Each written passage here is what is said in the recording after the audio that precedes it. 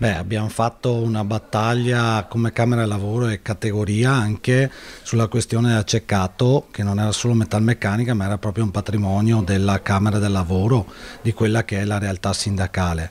Poi abbiamo in questi anni seguito la questione dei FAS, eh, facendo anche un'iniziativa pubblica in uh, sala civica e abbiamo seguito quello che è il territorio, questo territorio che è un territorio dal punto di vista industriale eh, molto significativo nella nostra provincia.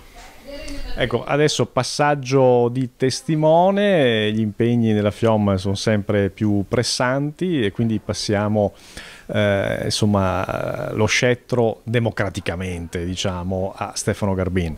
Sì, Stefano è stato eletto prima dall'assemblea del, della Camera del Lavoro e io gli auguro un buon un bocca al lupo.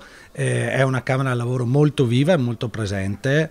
Dal punto di vista della rappresentanza degli iscritti è significativo questo territorio sia per le categorie industriali che per i servizi ed è una Camera Lavoro eh, dove anche i servizi, addirittura il CAF è il terzo CAF della provincia come pratiche.